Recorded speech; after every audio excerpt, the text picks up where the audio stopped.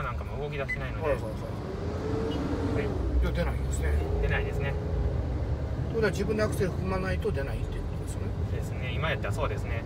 ちょっと後ろから鳴らされたんで僕もああだからそれで全然然いいと思うんです。っていうのは意識がパンと落ちて手がこう離れた時にえそれでも追従ができてでなんだかんだで前の車止まったとすれば基本的に言うとそれで車止まるわけじゃないですか安全に、そうするとそこで何か後ろからピーピー鳴らしてなんかおかしいんちゃうかって見たらあ人がだから気を失ってる倒そうそうそうそういううことそういうことです。よはい。という安全装置になるんだろうというふうになるんですねイメージで言うとうーんおちょっとってところに呼んでくれるのかなオレンジになってる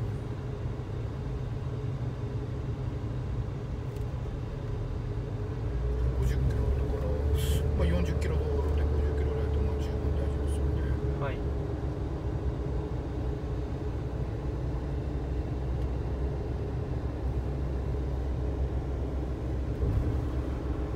道路が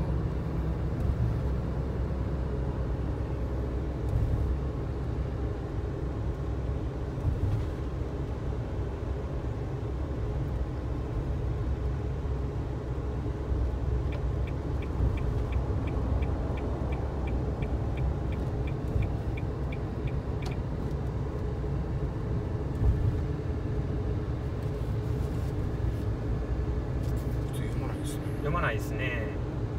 これ高速しか読まないってことないですか？GPS があ感知してーないですないです。それはない。はい。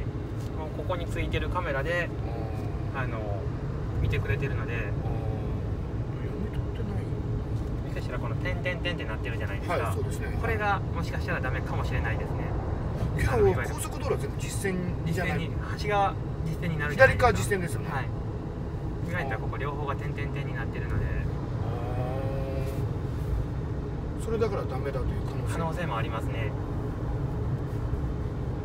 あとこちらの方に関しては車線が消えてるじゃないですか、はいはいはいはい。はい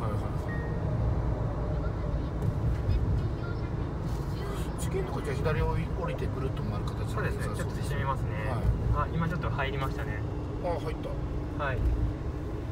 あ緑になったってことですね。なってますよね。はいはいはい。こちらのハンドルだけ顔に触ってもらっていいですか？多分私と一緒に。多分そしたらハンドルがある程度動くのがあ動いてますね。感じられると思うんですけど私今もう本当に握ってるっていうよりはこう持ってるだけ。ですね。はい。あ自動的に。はいはいはいはい。ちょっとあ速度上げます。なると多分ここ緩やかなカーブになってるんで。はいはいはいはい。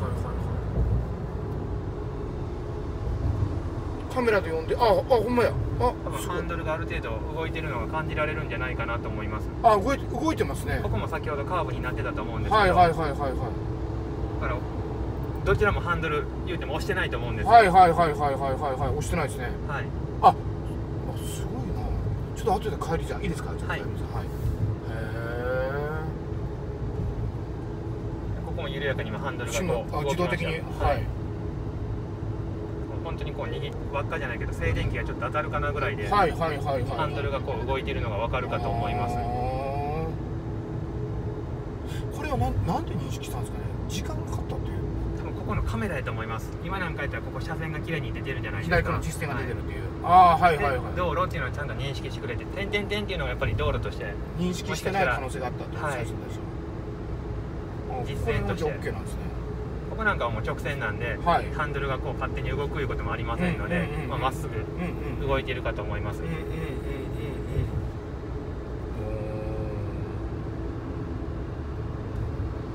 そういうことですか。いいですね、はい。へ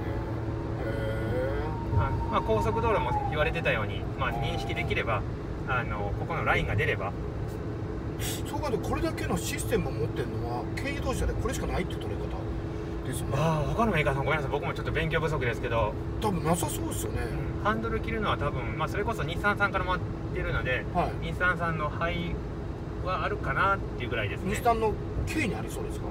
一緒の車なんですよ。この車と日産って使ってるものがえっ、とこの EK ワゴンと同じ？はい。エイズっていう車が日産さんあるんですよ。はいはいはいはい。それあの三菱の工場で作ってるんで。あそうなんですか、はい。ああのシャージが同じなの？はい。エンブレムが違うだけで、へえまあ、ちょっと降りて U ターンしますね、はい。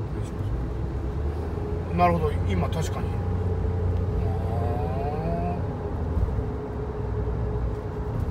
ー。で降りてで下でちょっと交代ではい。はい。いう形で。へえ U ターンしたらセブンイレブンあるんでそこにちょっととりあえずどっか頭入れますはいはいはい